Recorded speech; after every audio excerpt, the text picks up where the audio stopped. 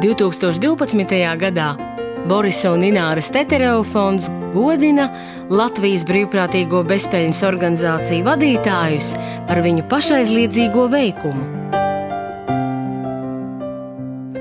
Reizeknas māmiņu klubs, ko vada Olga Strode, labdarības pasākumos vāc līdzekļus ģimenēm, kas nonākušas grūtībās, nodarbojas ar topošo un jauno māmiņu izglītošanu un mudina jaunos vecākus pievērsties uzņēmējdarbībai. Все, что мы делаем, делаем ради детей.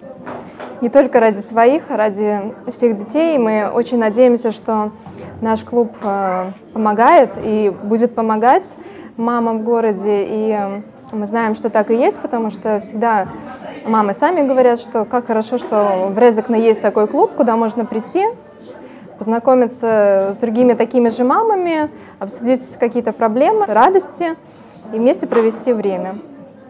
Несмотря на то, что совсем недавно у меня родился маленький ребенок, он занимает, э, конечно же, много времени, но мы вместе с ним приходим сюда, вместе проводим время. Ну, когда ты приходишь сюда, здесь такие же мамы с такими же детьми, и у нас одни общие разговоры.